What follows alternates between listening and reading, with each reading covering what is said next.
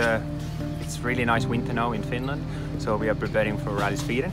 It's already now, even though we haven't run the Monte yet, but it, it's good to be uh, beforehand than too late. So idea if this test is that we can react uh, uh, with the things if we need to do some new dampers or or we need to think about something new differential program or something like this. This gives us, us time. And uh, now started this morning, you know, we uh, we were maybe a bit too soft. Uh, I don't like the card to be that soft. I want to be more more precise because I like that uh, you know the feeling for the steering is is coming quickly. But otherwise, it's it's fantastic. You know, it's one of the, my favorite conditions to drive on the snow.